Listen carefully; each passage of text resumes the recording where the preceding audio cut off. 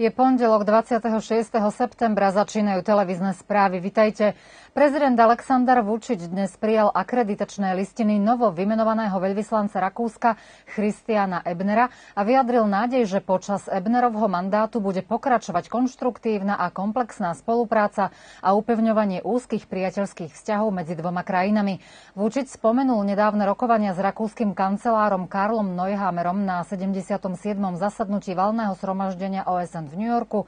A poukázal na to, že intenzita stretnutí prispieva k pokračovaniu európskej integrácie, zachovaniu stability v našom regióne a potvrdzuje vzájomný zámer ďalej posilňovať vzájomnú dôveru a spoluprácu v oblastiach, ktoré sú dôležité pre obe krajiny. Zverejnila to dnes tlačová služba prezidenta. Skonštatované bolo, že ekonomická spolupráca medzi Srbskom a Rakúskom je na veľmi dobrej úrovni a v budúcnosti sa očakáva jej ďalší rast. Ebner sa jasne vyjadril, že Rakúsko podporuje Srbsko na ceste eurointegrácie a že naďalej bude dbať na rozvoj vo viacerých oblastiach, aj v oblasti ekonómie, pričom Rakúsko je tretí najväčší investor v našej krajine. Na záver hovorili aj o aktuálnej energetickej situácii. Dôchodky v Srbsku budú od 1. novembra zvýšené a to o 9% a od 1. januára o ďalších 12% Z toho dôvodu dôchodcovia budú mať budúci rok dôchodky väčšie o 20% než teraz, vyhlásil minister financí Siniša Mali.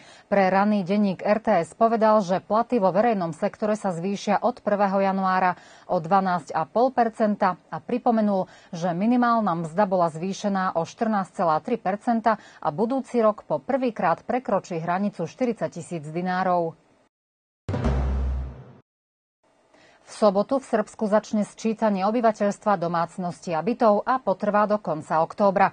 Občania budú odpovedať na 69 otázok, z ktorých na tri otázky odpoveď nie je povinná. Tie tri otázky sa týkajú národnosti, jazyka a vierovýznania a tým, ktorí odmietnú spolupracovať so zapisovateľmi a narušia proces sčítania, hrozia tresty vo výške od 20 tisíc do 50 tisíc dinárov, povedal dnes riaditeľ štatistického úradu Miladin Kovačevič. Sčítanie jednej osoby bude trvať asi 30 minút, na odpovede sa netreba vopred pripravovať a každý zapisovateľ musí mať na viditeľnom mieste zavesenú legitimáciu s fotkou, identifikačným číslom a na zadnej strane musí byť pečiatka a podpis predsedu sčítacej komisie príslušnej obce.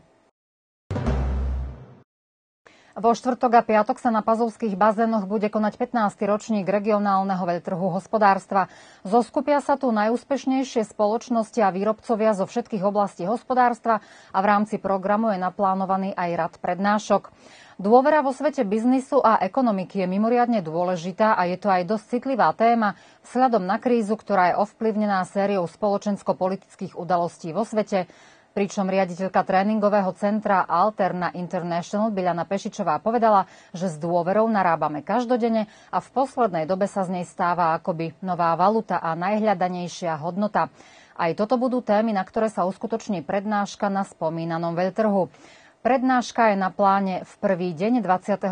septembra od 12.30. Veľtrh organizujú obec Stará Pazova a regionálna hospodárska komora Sriemského kraja. Otvorený bude od 10. do 17. hodiny v dňoch 29. a 30. septembra. 8. ročník umeleckej kolónie s názvom A ja mám rád novú pazovu sa realizoval v sobotu, rovnako kedy sa zaznamenával aj Deň pristahovalcov.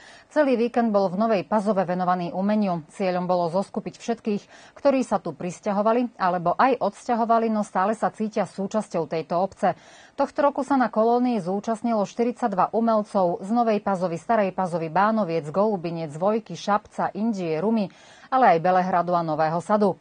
Organizátorom kolónie je umelecké združenie Nová Pazova a podpredsedníčka Liliana Sekimičová povedala, že čoskoro bude otvorená výstava, ktorá vznikne z obrazov namaľovaných práve počas trvania tohto víkendovej kolónie. Podľa tradície v druhý deň víkendu sa odchádza na výlet. Tentoraz účastníci navštívili Vaľevo, konkrétne dedinu plnú histórie Brankovinu. Každoročne si v Slankamenských Vinohradoch poslednú septembrovú nedeľu pripomínajú posviacku svojho chrámu. Tento raz v nedeľu 25. septembra mali ako hostí cirkevný zbor zo Šídu. Členky spevokolu pod vedením kantorky Nataše Kolárovej predviedli vynikajúci hudobný program. O kázen sa postarala pani farárka Belehradská Anna Petrovičová, ktorá pôsobí aj v Šíde a slávnostné služby odslúžila spolu so seniorom Sriemským Igorom Feldym. Kostol v Slantkamenských Vinohradoch bol vybudovaný v roku 1955, kedy sa konala aj posviacka chrámu a zbor je fíliou Staropazovského cirkevného zboru. Ako povedala Anna Dingová, pravidelne sa tu na službách zúčastňuje okolo 15 veriacich a oslava posviacky chrámu je dňom, na ktorý sa všetci veľmi tešia a s radosťou sa naň pripravujú. Včera večer sa v chráme svätého otca Nikolaja v Belegiši konal koncert tamburážskeho orchestra Ľubinka Laziča s hostiami. Pred plným chrámom predviedli niekoľko tamburážských kompozícií a staromestských piesní, ale aj populárnu klasiku Evergreeny a tango skladby. Ako host vystúpil známy hudobník na klasickej gitare Némania Bogunovič, ktorý v doprovode orchestra zahral svoje autorské dielo venované Sávovi Šumanovičovi. Vystúpili aj vokálni solisti Predrag Kľajič a Boris Babík. Koncert bol zorganizovaný vďaka Srbskej pravoslávnej cirkvi obce Belegiš a kultúrno-umeleckého spolku Nikola Marinkovič Mitanče z tejto obce. Včera sa v Surduku konal 29. ročník Fiakeriády. Ide o jedno z najmasovejších podujatí tohto druhu vo Vojvodine. Na programe sa zúčastnilo okolo 100 súťažiacich.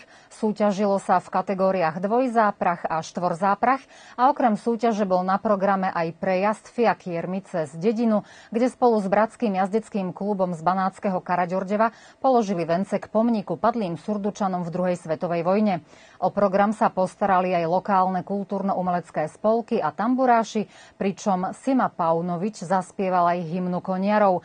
Atrakciou bolo 6 koníkov, poníkov frískeho plemena z jazdeckého klubu Mirela Belegiš. Ide o podujatie veľkého obecného významu, ktoré otvoril predseda obce George Radinovič a medzi významnými hostiami bol aj štátny tajomník Ministerstva mládeže a športu Milan Savič.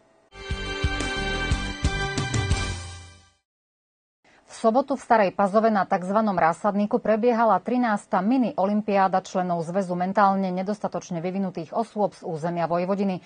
V uplynulých ročníkoch bol hostiteľom Zreňanin. Tento raz sa akcia konala v Starej Pazove a slávnostne ju otvoril predseda obce Stará Pazova George Radinovič, ktorý všetkým účastníkom zaželal mnoho zdaru. Zúčastnilo sa tu 55 jednotlivcov z deviatich spolkov zo Subotice, Pančeva, Vrbasu, Srbobranu, Kikindy, Vršca, Nového sadu, Báčského Petrovca, Štrbovca a Starej Pazovi. Súťažilo sa v šiestich hrách bez obmedzenia veku.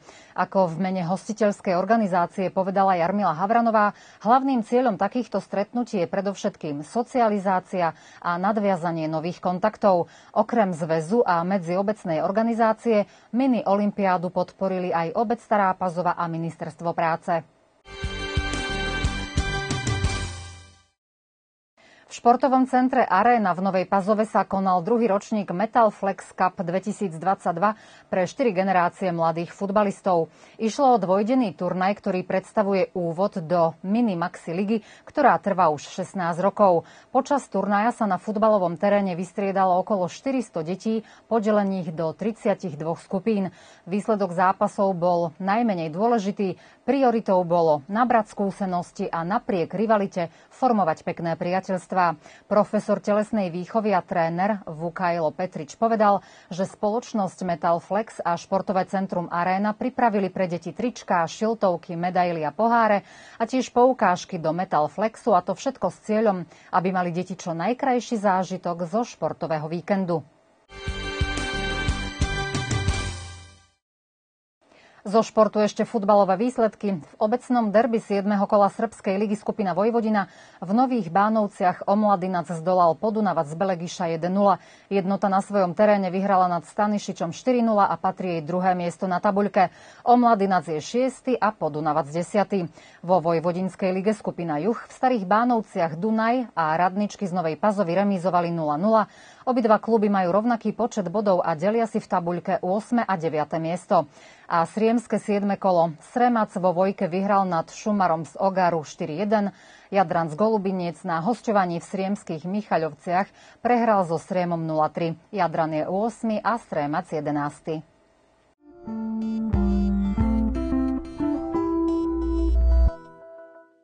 Podľa meteorológov bude v útorok oblačné počasie bez slnečných lúčov a po obede môžeme očakávať dážď. Teploty sa budú pohybovať v rozmedzi od 11 do 21 stupňov a čo sa týka vetra, bude fúkať mierne s premenlivým smerom. Na záver ešte meninoví oslávenci dnes vo Vojvodine oslavujú Edita a Vladislava, zajtra Damian a Kozmas. To už bola posledná informácia z dnešných správ. Dovidenia zajtra.